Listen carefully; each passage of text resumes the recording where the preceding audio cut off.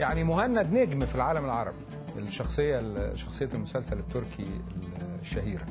لكن ما فيش مثلا مدحت المصري ولا خليل السوري ولا نوف من السعودية ما فيش. دول ما يطلعوش خارج الحدود. دول محليين. لكن المسلسل المكسيكي مش محلي. يتعرض عندنا والناس تقعد بالساعات تتفرج عليه وتروح كمان الحلقة اللي تفوتهم يروحوا يشوفوها على الإنترنت. المسلسلات العربية لا ما تخرجش بره الحدود. ليه؟ ما أعرفش. يمكن الأستاذ صلاح معاطي يعرف. أستاذ صلاح. أنا بحييك يا أستاذ محمد على هذا السؤال لأن السؤال ده قعدت أسأله لنفسي كتير جدا. وحبست نفسي قلت أنا لازم أشوف إيه سر هذه المعادلة يعني. وخرجت من الحبس و... ولا لسه يا أستاذ صلاح؟ لا يعني يعني هقول لك بكل صدق وبكل صراحة. أنا راجل روائي في المقام الأول وبحب الرواية بحب الحكي بحب ال ال ال الشيء اللي فيه تصاعد درامي وأحداث. أنا لم أستمتع ب يمكن دي وجهة نظر شخصية آه. لم أستمتع بالفيلم بالمسلسل التركي. لسبب واحد. إن أنا هو المسلسل التركي ليه هجاوب هجاوب بس على السؤال. يعني هو أنت بتطلع في مناظر واسعة. يعني الكاميرا تقريبا بتبقى ما فيها ما فيش الغرف الضيقة التي عندنا. يعني الأماكن الضيقة أوضة الصالون هي اللي هي اللي هي يعني ثلاث أرباع المسلسل المصري أوضة الصالون أوضة الجلوس اللي قدام التلفزيون دي. بالظبط لكن أنت بتشوف مناظر جديدة آه. مناظر واسعة جدا تصوير على مستوى عالي. اللغة والحوار لغة الحوار هايلة يعني. فعلا آه بس بالرغم إن إيه يعني أنا ممكن أغيب شهر وأرجع ألاقيهم بيتكلموا في نفس القضية في في المسلسل التركي. لكن لكن آه, آه حوار حلو جدا. حوار حتى لو في حب آه المشاعر الجياشة والعاطفة لكن ما فيش الأحداث أنا حاسس إن ما فيش تصاعد. آه يعني أحداث ممكن يتم ضمها وإحنا محتاجين ده. يعني إحنا محتاجين آه وبعدين المسائل برضو الحياة اليومية أحيانا بتستهوي بعض الناس. يعني أنا كنت مقدم مسلسل مرة فأحد المسؤولين يعني قال لي إحنا عايزين حاجة يوميا يعني آه. تبقى فيها نوع من يعني حلقات الناس عايشة إزاي يعني مش هي دي القضية. في عندنا مشاكل جامدة جدا محتاجة إن إحنا نعالجها دراميا بشكل كبير يعني. فالحقيقة يعني هذا ما يعيب المسلسلات التركي أو وإحنا نقدر نقدم ده من السهل قوي إن إحنا نقدمه. طب ما بنقدموش ليه يا أستاذ صلاح؟ أنا أنا هقول لحضرتك العيب مش مسألة واحد التقديم واحد من الفلاسفة اللي هم مش فلاسفة يعني لكن عنده فلسفة ممتازة زميلي الإعلامي المصري الكبير محمود سالم. يقول لك إيه الأستاذ محمود؟ يقول لك ما دام قد نجح فهو ناجح. يعني إيه؟ يعني المسلسل ده طالما إن الناس حبوه يبقى مسلسل ممتاز. مهما كان رأي النقاد آه. فيه ومهما قلنا فيه يعني ما قاله مالك في الخمر. فأنا أنا قصدي أقول لسعادتك إن كانت هذه الوصفة تنجح المسلسل طب ما هي في إيدينا ما نعملها؟ ما الوطن العربي مليان مناظر. إحنا مشكلتنا إحنا إحنا وإحنا عندنا كمان عقول زي حضرتك كده تكتب القصة ويبقى المسلسل قصة ومناظر في نفس الوقت. بالظبط ما هو ده جانب. وليه لا؟ وإحنا عندنا المناظر دي. يعني إحنا عندنا المناظر اللي إحنا ممكن نقدمها. صحيح. المشكلة كمان مش كده يا أستاذ محمد المشكلة في التسويق. آه. إحنا ما عندناش إحنا ما بنسوقش نفسنا صح. ما بنقدمش نفسنا صح. طب هل انت تعتقد مثلا إن الأفلام المصرية اللي اتعملت على في تاريخ السينما المصرية م. ولا فيلم منهم يصلح إن هو مثلا يدخل مهرجان كان أو يفوز بالجائزه الأولى أو آه. يفوز بالأوسكار؟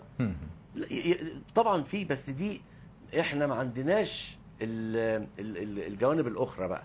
إذا اقتصاد ما عندناش اقتصاديين جيدين يقوموا بالدور ده. ما عندناش مسوقين جيدين. يعني هي العملية عايزة مؤسسة زي ما بقول لحضرتك مؤسسة متكاملة تقوم بدا بده. يبقى عندنا المسلسل المناسب اللي يدخل مسابقات عالمية. المسلسل اللي هو زي على نمط مهند تركي. مسلسل يبقى, يبقى ولا حريم السلطان ده حريم السلطان ده تحول إلى ظاهرة. الحقيقة أنا يعني أنا مراتي وحشتني. مراتي قاعدة قدام حريم السلطان صوتها وحشني والله يا أستاذ صلاح.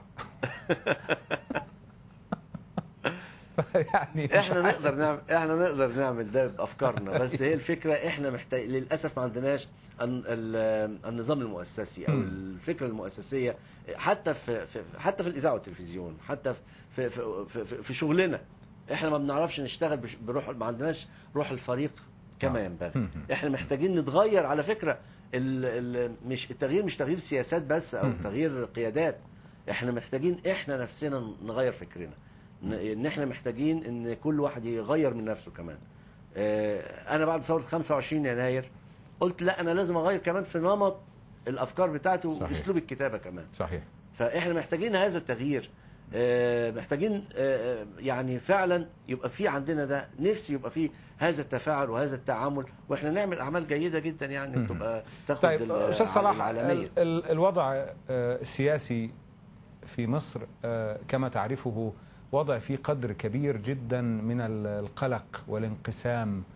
والانقسام وصل حتى إلى إلى البيوت. ليه آه، هذا المهتم بالشأن السياسي المصري؟ وأنا عارف كل المصريين مهتمون يعني. لكن لماذا يشاهد مسلسلا في قصة حب ولا قصة خيانة ولا شيء مثير من هذا النوع؟ وما يشوفش مثلا آه، الخطب اللي على منصة رابعة ولا المظاهرة اللي في التحرير. يعني لماذا سيبعد نفسه عن السياسة في الشهر ده ويروح للدراما. ليه في رأيك؟ والله أنا بختلف مع حضرتك لأن هي المشكلة المشكلة السنة دي إن الناس هتروح لل- للتحرير وال- ورابعه أنت يعني شايف كده؟ أنت أنت شايف إنه فعلا ستظل ال- السياسة هي ال- ال- البطل فتى الشاشة الأول. والمسلسلات بس أنا يمكن عايز- آه. عايز أقول لك على حاجة تطمنك يعني. نعم. إن اللي بيحصل في مصر ده بالرغم إن إحنا في قلق وفي خوف وفي توتر لكن ده ده إفراز لشيء خفي إحنا هي- هيتحقق قريب يعني ده لأول مرة ألاقي مثلا الرجل البسيط في الشارع العامل البسيط بيكلمني عن الليبراليين ويقول لي ويكلمني عن قضايا ويقول عمره لك من ما دام قلت سنتين ما كان ليبراليين يعرف. بقى يقول لك هم صحيح كفره يا أستاذ صلاح ولا إيه؟ أي مثلا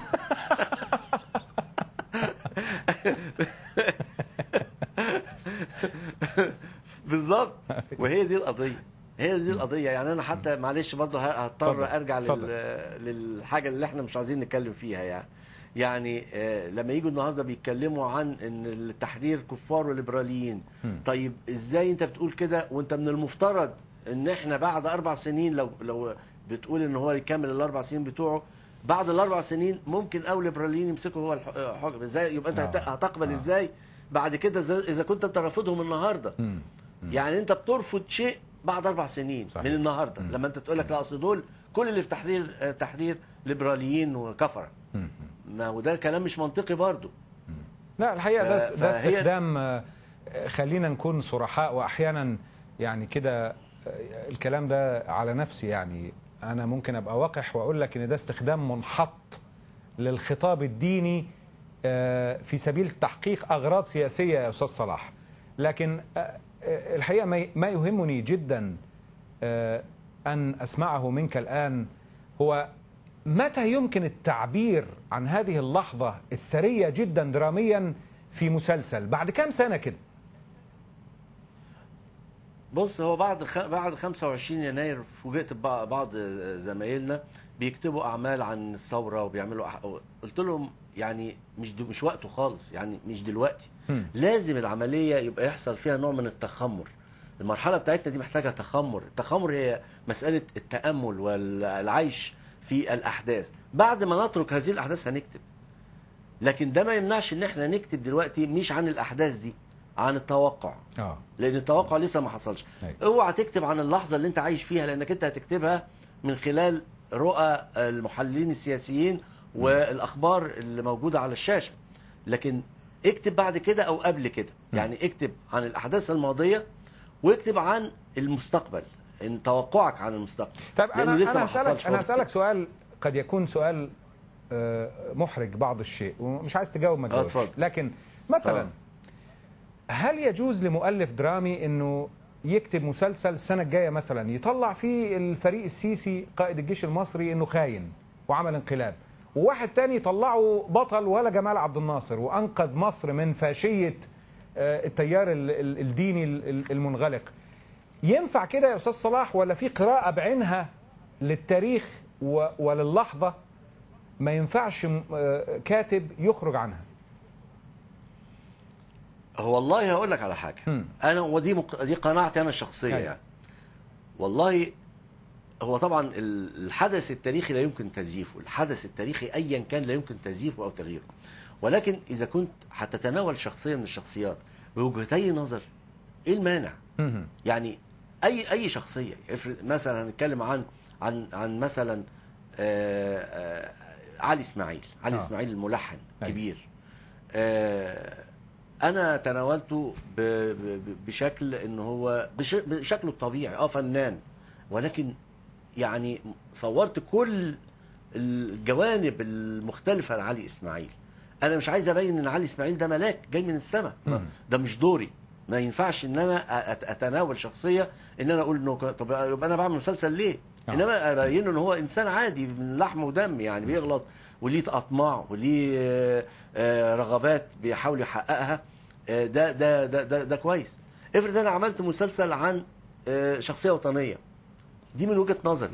جاء واحد تاني قدمه بشكل تاني من وجهة نظر مختلفة. إيه المانع؟ يبقى إحنا عندنا وجهتي نظر من خلال مسلسل درامي بس أهم حاجة إذا كنت أنا هتناول شخصية درامية وشخصية شخصية سياسية وموجودة يبقى لازم أحطها في الحدود بتاعتها بحيث إن أنا ما ما ما أجيبش أحداث ما لا أختلق احداثا تزيف التاريخ. صحيح. ولكن إذا كنت أنا بتعامل مع التاريخ يبقى أنا لازم اتعامل أتعامل مع التاريخ بصدق.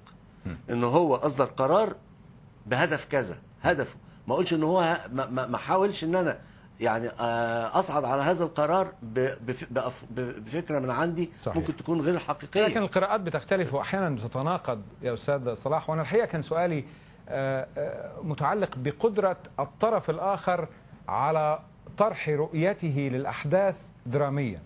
يعني إذا كان في كاتب إخواني وكتب إنه آه، قائد الجيش المصري ده هو انقلب على الشرعية هل هذا مسموح به أم لا في مسلسل؟ إيه المانع طالما دي وجهة نظره؟ آه. ما فيش مانع بس هي المشكلة المشكلة برضو في إخواننا لأن هم أصدقائنا يعني. أيوة.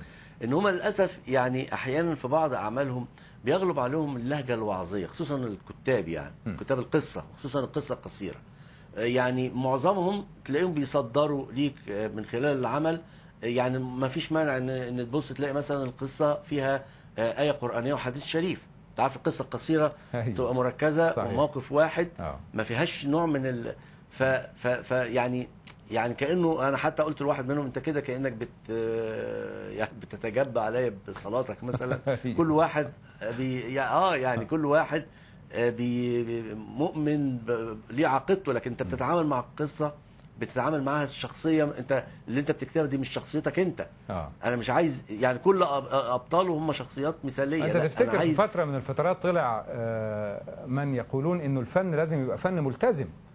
وإنك لازم لما وماله؟ تكتب آه لا وما مسألة وماله دي ما هو الالتزام يعني إيه مسألة التزام؟ وماله دي يا أستاذ صلاح محتاجة شرح لأنه الفن ما- ما- الفن لا يلتزم إلا بوجدان الفنان هو ده التزامه الوحيد طب ما هو آه. ما هو ده ما هو ده هو ده الالتزام اللي أنا بقوله مم. هو ده الالتزام إنما الكاتب حر في انه يتناول ال- الأحداث زي ما هو عايز آه. والشخصيات واللغة ولكن في نوع في يعني في يعني حس بس ده ممكن يأثر حتى على فنية العمل. أنا بتكلم بتكلم مش من ناحية الالتزام الديني أو الأخلاقي. أنا بتكلم على فنية العمل. ده ممكن يضر بفنيه العمل. إن أنا ممكن آه، آه، يعني أبقى في نوع من ال- ال- ال- اللفظ الصريح صحيح. اللي ممكن يهدم العمل أو يضره صحيح. أو يصوره بشكل وحش جدا. طيب آه، أستاذ صلاح أنا آه، في النهاية آه، أنت عارف كل آه، موسم رمضان كده يبقى فيه مسلسل ضحية. يعني في مرة كان مسلسل محمود درويش مثلا. كل الناس قالوا مسلسل مش عارف إيه مش هنتفرج عليه. مسلسل شنيع وأساء لمحمود درويش. المرة دي كلهم بيقولوا نفس الكلام ده عن مسلسل الزوجة الثانية. وحجتهم إنه ما حدش ينفع يلعب دور السندريلا آه، يعني آه، سعاد حسني. فأنت إيه رأيك؟ مش عارف يعني لو شفناه على قناة نقتله ولا نعمل إيه؟ لا لا نتفرج عليه أنا برضو من من بين الأعمال اللي هي إن أنا عايز أتفرج عليها جدا أيوة. الزوجة الثانية أيوة. بس للأسف يعني آه، ده برضو مش دفاعا عن وجهة النظر الأخرى اللي أنت بتقول عليها ولكن آه، الأعمال التي آه، مثلا آه، تم تناولها في أعمال آه، سينمائية لما جاء آه، زي مثلا الثلاثية آه بين القصرين. يعني لما اتعمل المسلسل ما كانش بنفس النجاح اللي عمله آه، اللي كان في السينما. مع إن اللي قام بالبطوله محمود مرسي يعني ما فيش أعظم آه، من كده يعني. آه. ولكن ولكن هي الفكرة إيه؟ الفكرة أنت هتعيد لي المسلسل. في الفيلم في مسلسل هتعيده لي بنفس الأحداث؟ ولا في رؤية جديدة أنت هتقول هتقولها من خلال صحيح. المسلسل؟ آه. هي هي دي هو ده الفيصل. مم. أنت هتعيد لي نفس الأحداث اللي أنا شفتها في الفيلم؟ طب أنا شفتها في الفيلم. إنما هتغير لي زي بالظبط إيه؟ زي بس أنا قريت الأول آه، اللص والكلاب. لنجيب محفوظ. واستمتعت جدا بال- بالقصة. لما جيت اتفرجت عليها كفيلم لقيت إن السيناريست عاملها بشكل مختلف. أيوه أيوه. فعجبتني عجبتني آه جدا. ف... يعني فيصيبك ما يسمى بالدهشة الفنية يا أستاذ صلاح. أنا فاهم هو ده المطلوب. إيه. يا أستاذ صلاح أنا آه. شاكر جدا الحقيقة كان من آه، المفروض أن يكون معنا آه، ضيف كريم آخر وهو سعادة آه، الدكتور سعود كاتب أستاذ تكنولوجيا الإعلام بجامعة الملك عبد العزيز بجدة.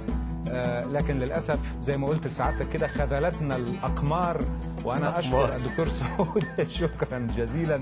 لكن أضاعف شكري لك أنت أستاذ صلاح. والله على راسي يا سيدي شكرا للأستاذ صلاح. معاطي. المؤلف والكاتب الدرامي المصري المرموق الذي شرفنا مباشرة من القاهرة في أولى حلقات الخيمة بكرة خيمة أخرى تصبحوا على خير